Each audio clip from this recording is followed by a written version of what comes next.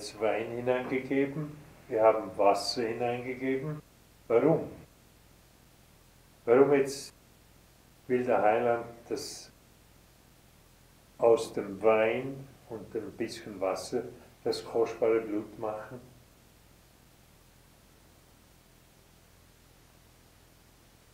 Nach der Sintflut, da war auf der Erde nichts mehr. Das Wasser jetzt zurückging. Und äh, Heiland, also Gott gab dem Noah eine aus dem Paradies, das immer noch existiert, in einer anderen Dimension, dann gab er ihm ein Getreidesorte. Kann nicht sagen, welche. Ich bin nicht Bauer, ich kann es nicht sagen. War ein Getreide zum Einpflanzen, was dann das Brot ist. Und er gab ihm noch etwas, eine Rebe. Auch da weiß ich nicht, muss ich jetzt sagen, ein Rebstock oder was, aber das, was dann eben daraus die Trauben gab.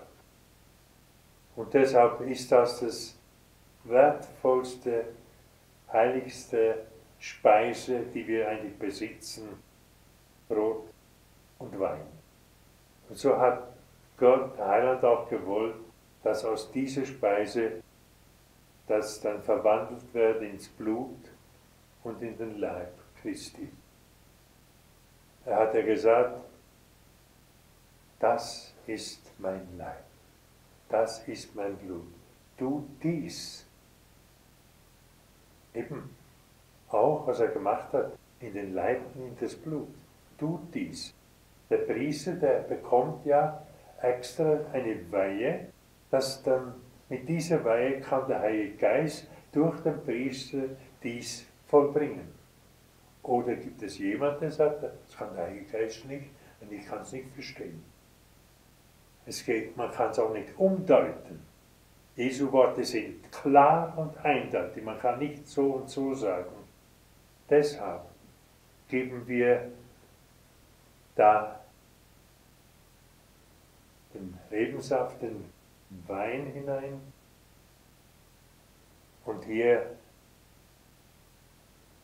das Brot. Jetzt, warum nimmt er denn noch ein bisschen Wasser rein? Ist ihm der, der Wein zu stark? Oh nein. Sondern als der Heiland am Kreuze hing, so, wie heißt in der Heiligen Schrift, kam Blut und Wasser heraus. Was soll das Wasser bedeuten? Eben das, wo die Priester der Volk sollten lernen. Das Wasser ist menschliches Beiwerk. Das Blut war wahrhaft göttlich. Das Wasser sollte das Menschliche sein. Wir haben Anteil. Das Wasser, wenn man da reingibt, haben wir, habt ihr den Anteil da drin. Euer Anteil, wo ihr da hineingebt, wird zum Blut Jesu Christi. Und eure Wünsche an Gott auch, zuerst mal ein Schenken und dann noch Wünsche, geht da herein und dann ist es ja Jesus am Kreuz, der den Vater bittet.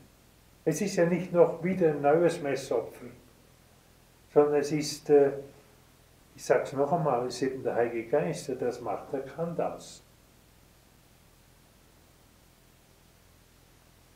Der kann das eben machen.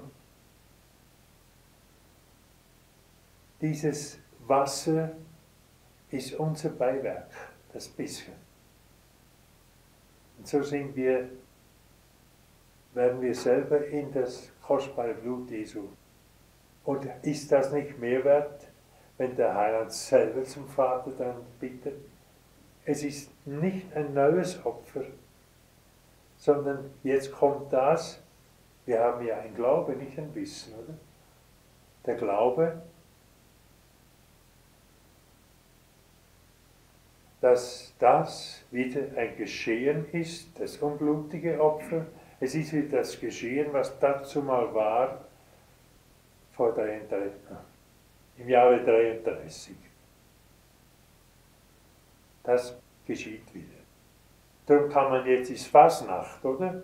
Dann kann man nicht mit einem Fasnachtskostüm, mit dem Ding und noch an Messdiener mit dem mit dem Teufelsding an den Altar und das es ist Kalfaria hier noch einmal, es ist wieder das Jahr 33 in dem Moment. Durch Gottes Geschick ist das wieder. Und da kann man dann nicht mit der Fastnachtsding nach Kalvaria und da noch Späße machen während der Messe, wenn der Heilige am Kreuz stirbt.